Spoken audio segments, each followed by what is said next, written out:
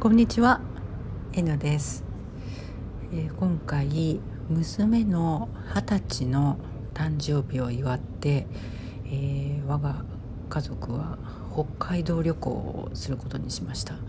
えー2泊3日の短い旅ですがまあ札幌と小樽そして旭川動物園を巡るえーまあ、時間としては、まあ、十分かなということで、えー2泊3日ということに決めました。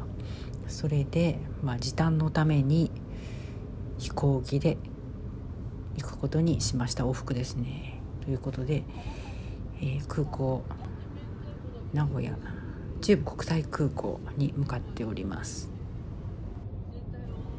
関係ないですけど先ほど見えたのが左側に見えたのがコストコです。よく行くところです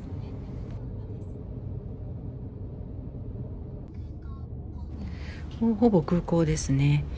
セントレアは関空のように海の埋め立て地海に浮かぶ孤島のような形になっているのでま陸橋を渡って空港に行くわけです。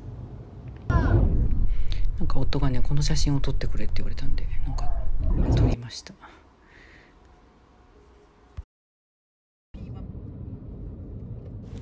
セントレアは駐車場は非常に大きいんですけれども、えーそれでも、まあ、ハイシーズンになると、まあ、よく満車にあるので予約するといいんですけれども、まあ、今回は予約しなくてもよかったのではありますが一度予約してみたいなと思って、えーホームページから予約してみ、えーました。で一番なんていうのかな入り口に近い塔の G というところに止めることができました。予約代はね1000円ぐらいかかりますよね。でもセントリアカードというクレジットカードを持っているとそれがフリーになるという特典がついております。今思うと旅の始まりのこの時が一番ワクワクしていてすごく楽しかった。時かもなとか思いましたね。ずっと旅の旅の最中は楽しかったんですけどこの時のワクワク感は格別ですよね。であまりに興奮してるのでわ我らあの逆方向向かって歩いてます。で途中で気づいてまた U ターンします。何やってんだって感じですよね。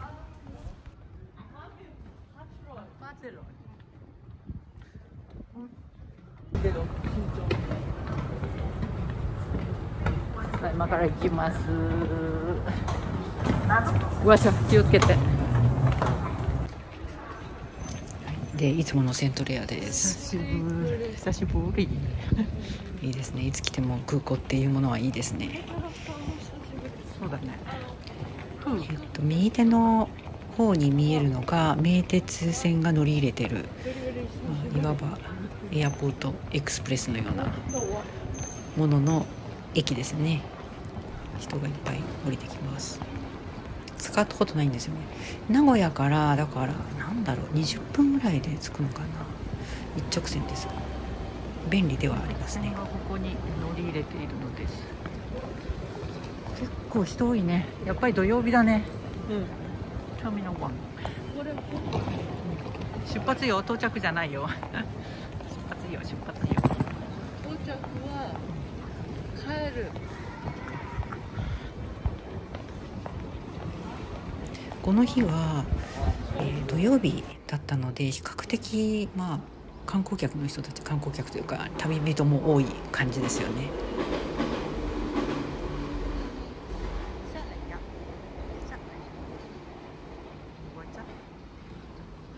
トープさせないでって言われるよ、うん視聴者さんが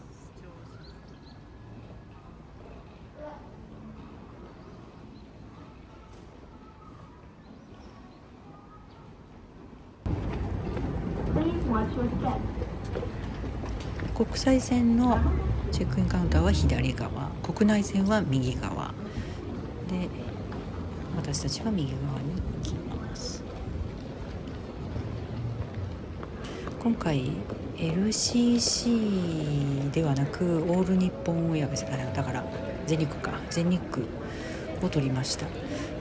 割と K と L とまあ間近に取ったので LCC の値段もオール日本全日空の値段もあんまり変わらなかったのでまあではせっかくならということで全日空のチケットを取った次第です。まあ PC でやってしまったので。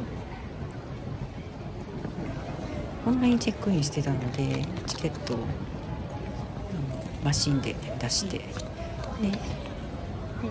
税関に税関っていうんじゃない搭か乗券が向かっておりますね。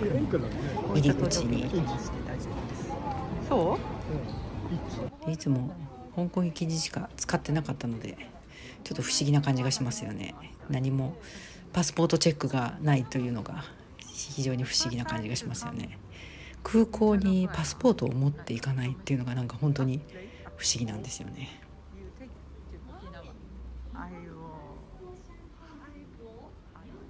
国際線の方はそのゲートのゲートを越えた後もスタバがあって私それが一すごく好きだったんですけれども国内線の方はないですね、うん、別に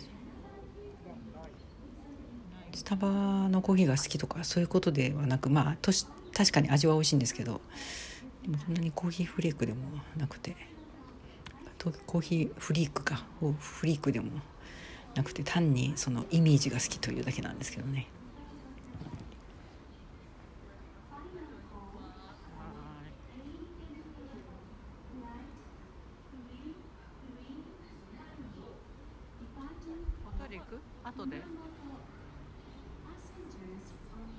中は国際線とあまり変わらないですね。でもスタバがないだけで、まあただやっぱりお土産品屋さんは国際線に比べて少ないかなという気がしましたね。飛行機が見えます。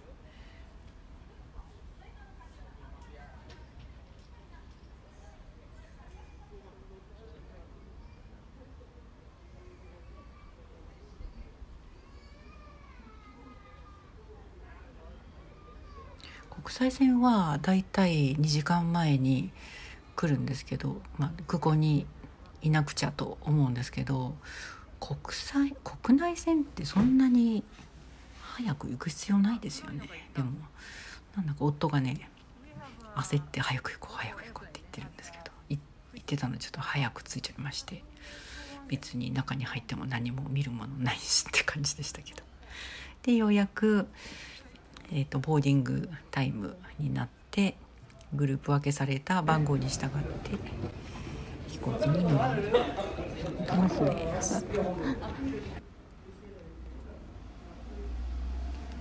客層としてはどうだろうな。別にサラリーマンとかがいるというわけでもなく普通の普通の、まあ、バケーションか里帰りの人かって感じでしたね。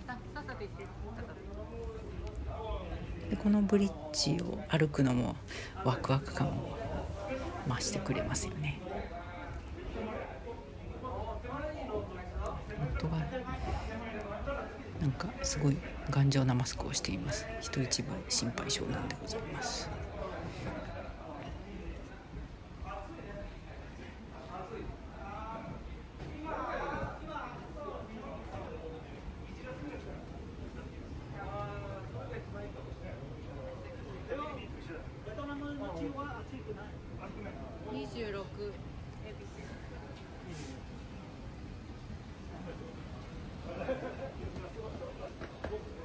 さっき郵便のマークも出てましたけど郵便も運んでるんですねきっと。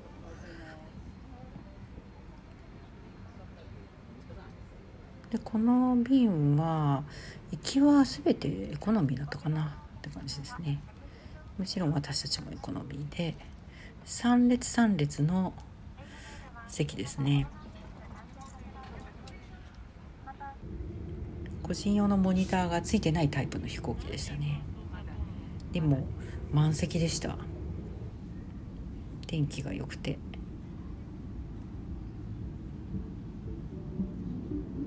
でいよいよ出発ですね。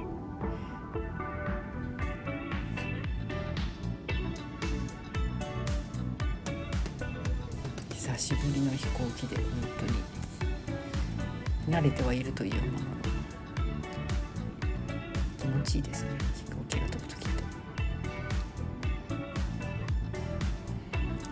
中部国際空港セントレアから北海道は本州の上をバーッと飛んでいくのですがそうですね最初能登半島の方に行ってそれで北海道の新千歳空港に到着するわけですね。今下に見えてるのは三重県ですねおそらく四日市の辺ですね。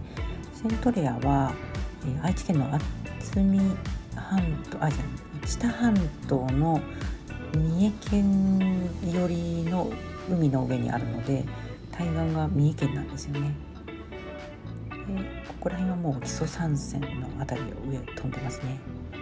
こうどんどん北上していってえーと、一宮とか飛んでってみたいな感じになりますよね。あの北陸の方に行きますね。で1時間と50分ぐらいかな。短いフライトだったので、えーと、機内サービスは飲み物と飴1個。そんな感じでしたね。娘が 私たちから奪った飴を並べているという。これは娘の飲んだアップルジュース。であっという間に新千歳に到着します。であいにく曇り空で幻想的ではあるんですけれども。でなんか寒そうだなっていうのが 感じられましたね。実際寒かったです。愛知はもう30度に届くぐらいの晴天だとね気温だったんですけれども北海道はやっぱりえ曇りというのもあったので112度から10いっても17度ぐらいで本当にちょっと寒かったんですよね。上着が必要だったなとか思いましたね、まあ、幸い娘が大きめの上着をなんか1枚余分に持ってきていたのでちょっと娘に3日間とも借りる状態になってましたね。で初めて降り立った北海道は、匂いはどうかなってすごく興味あったんですけどまあ普通に何も匂いがしなかったですね。爽やかな。まあ室内ですから匂わないなって感じがしますね、ま、逆にねよく言ってる香港が匂いすぎるんですよね。南国の独特のもわっとした感じが。北海道はそんなのはなかった。もう本当にねあいにくのどんより空で。で1日目と2日目なんてまあね時々雨も降ったりして本当に。残念だったんですけどね。でも旅がとても楽しかったで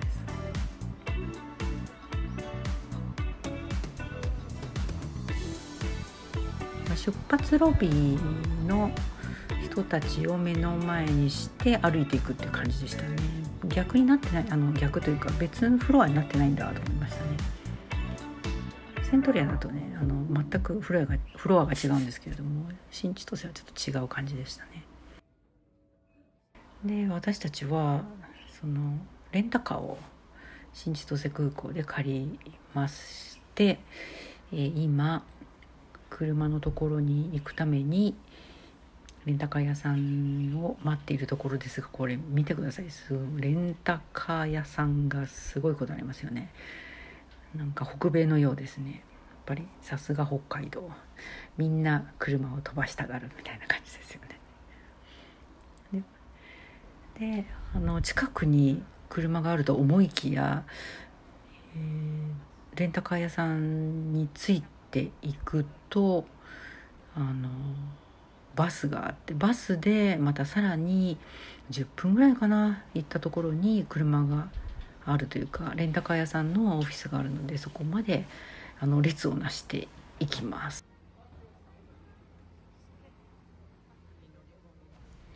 バスに乗り込みまして空港を後にします。で10分ほど車にっていうかバスに揺られていきますと到着しましたのがこのレンタカー屋さんですね。でレンタカーを借りてあの気づいたんですけど ETC カードを持ってくるべきだったと思いましたね。そういう ETC カードを借りられるプランもあるのかもしれないですね、うん、いつもあの愛知では自分の車に ETC カードを積んでいたのであのゲートを通る時にも高速の全然あの現金だから出し出すことはなかったんですけど今回は本当に現金がいいってちょっと不便でしたね。次に車を借りる時は ETC カードを持っていこうと思いました。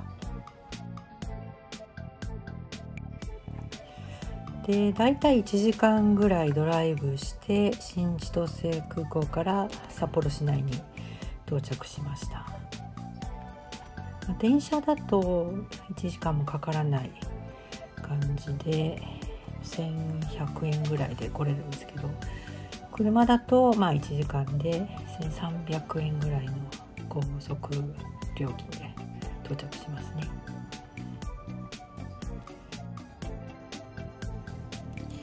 札幌の中心地になるともう本当に名古屋と変わらないですね。ただ一方通行が多くて慣れないとちょっと危ないかなと思いましたね夜なんか運転してた時に一方通行のサインがなんか進入禁止のサインがなかなか見えづらくてちょっと危険な場面もちょっとあったりして、えー、ヒヤッとしたこともありましたのでちょっと注意が必要ですね。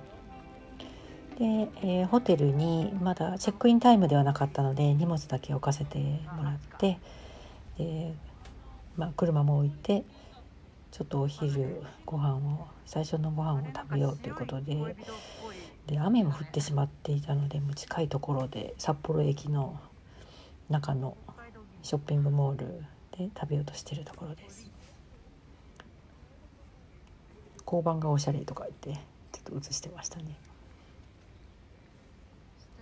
駅はそうですね高級デパートの大丸が入っててであとはもう本当に普通のショッピングモールでしたね。で地下街もあの大通この大通公園の方までもう一直線にドーッと伸びててでその中にはさまざまなあのショップが入っていてそんな地下街の充実度もちょっと名古屋に似たところもありましたね。何でもあるね。で食の札幌で第一番目に最初に食べたのが中華という我が家やむちゃやむちゃをしました、うん、半分香港人なので我ら。そして中華を食べる私たち。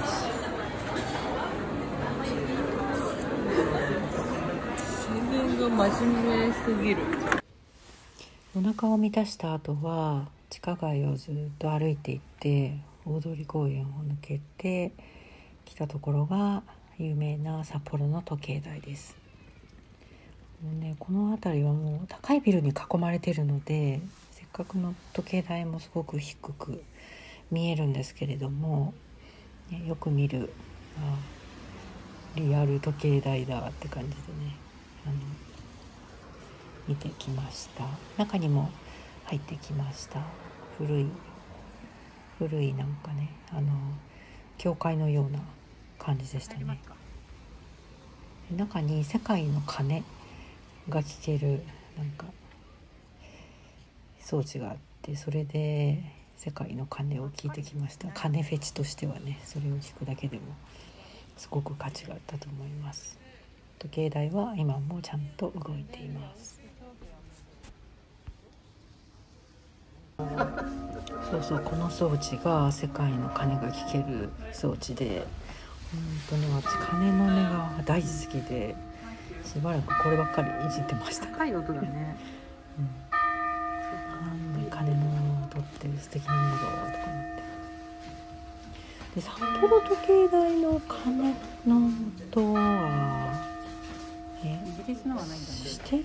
するのかな？なんかそこら辺あの学芸員さんに聞けばよかったんですけどもそのまま帰ってきちゃいましたね。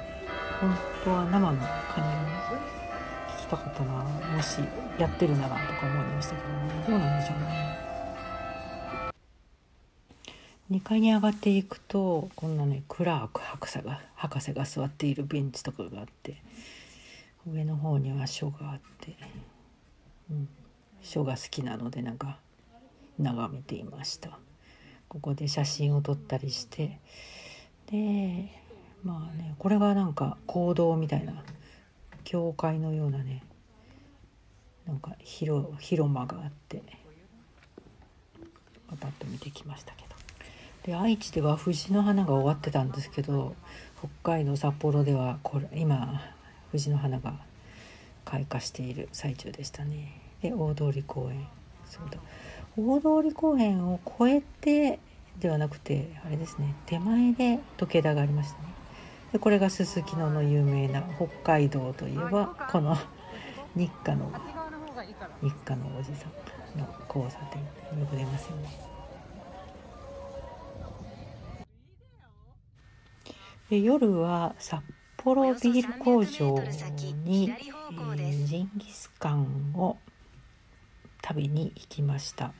まああいにく時間が合わなくて工場見学はできなかったんですけど、ねここの美しいレンガの工場を見られるだけでもいいなと思ったんです。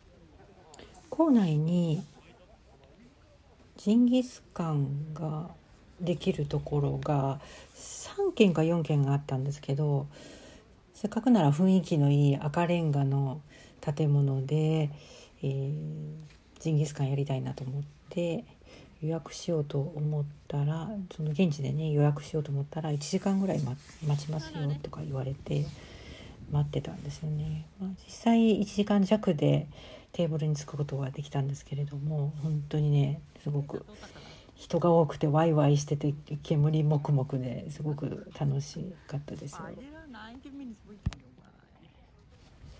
あいにくの曇り空でしたけれども日が沈む前のこの明かりと